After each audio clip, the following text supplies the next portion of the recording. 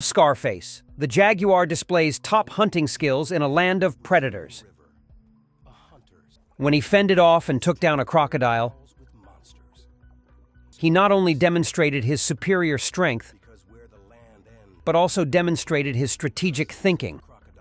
Scarface the jaguar quickly jumped from the riverbank into the water, bit the crocodile's neck, then deftly pulled it to shore.